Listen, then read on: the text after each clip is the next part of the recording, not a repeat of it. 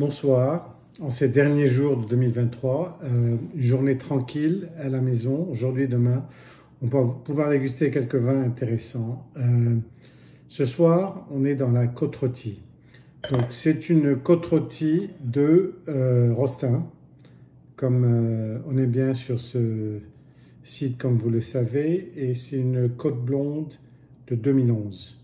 Donc, la côte blonde, c'est Bon, les trois grandes côtes rôties de Rostin, c'est la London, la côte blonde et, la côte brune, qui est vraiment super euh, difficile à trouver et quantité limitée et tout ça. Mais la côte blonde et la London ont aussi deux, deux caractéristiques plutôt différentes. Parlons de la blonde ici, c'est quand même une, une côte qui a quelques pourcentages de, euh, de donc ça adoucit un tout petit peu. C'est dans la région de la côte blonde, donc du on en avait discuté dans le temps euh, du, euh, de la côte rôtie.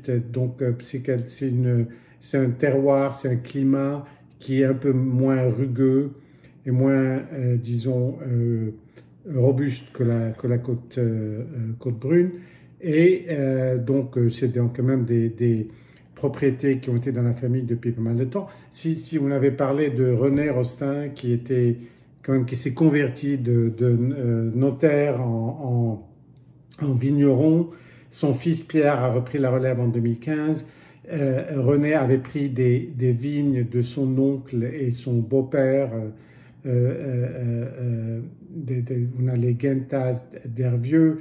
Et donc, donc vraiment, c'est quand même, comme on le voit souvent, c'est toujours une affaire de famille et ça va rester une affaire de famille. On les a on a visité la propriété euh, euh, il y a quelques années de, ça et, on avait reçu un accueil extrêmement chaleureux. Et depuis, on a quand même gardé le contact et euh, l'acquisition, disons, de leur, de leur, de leur millésime quand ils avancent. Et donc voilà, c'est un 2011, donc une année qui n'était pas nécessairement spectaculaire, mais une bonne année pour les gens qui ont su faire. Et déjà, quand même, c'est une la couleur, on voit déjà, c'est quelque chose qui est encore très vivant, euh, pas tellement évolué.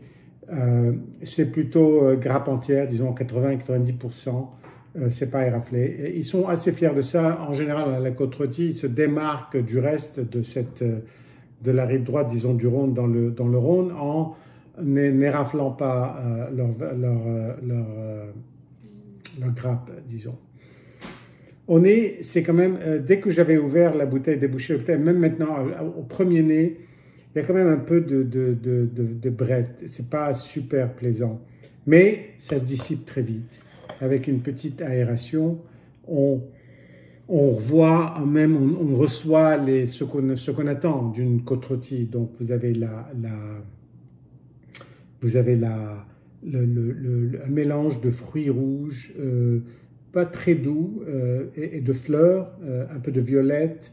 Euh, un petit peu dans les fleurs, on, sent, ça rappelle un peu le thé, donc pas exactement la bergamote, mais un peu, c'est un peu ça, un peu une espèce de thé floral et, pas très doux. un tout petit peu d'alcool, c'est pas un vin très alcoolisé, mais quand même on, est, on se sent en territoire familier.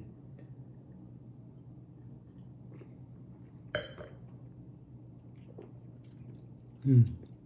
En bouche, c'est quand même, c'est intégré, c'est harmonieux. C'est assez complexe, il y a quand même pas mal de couches, ça fait un peu bourguignon, qui est quand même souvent, euh, disons, la caractéristique qu'on attribue au, vin de, de Rostin. C'est une sensibilité plutôt euh, bourguignonne, plutôt nuancée, euh, qui demande un peu de travail, disons, dans le palais, mais et qui a quand même une très belle longueur,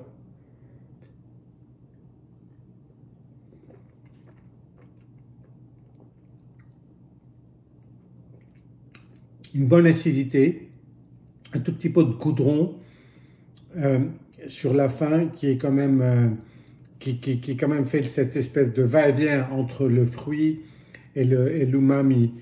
donc on a on a les deux et c'est super bien équilibré. Euh, c'est comme je, le disais avant, c'est quand même un vin en en complexité, en, mais en rondeur aussi.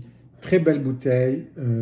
Je crois que bon, j'avais, y avait lu quelques commentaires comme quoi c'était pas encore assez ouvert ou c'était un peu vert et, herbeux, mais j'ai pas du tout ça. Bon, il y a un tout petit peu de, de poivre du, du Rhône, euh, disons, mais, mais même ça, c'est un peu quand même complètement euh, euh, intégré avec le reste des saveurs et ça donne une, une espèce de, de, bouquet qui est vraiment qui est un délice.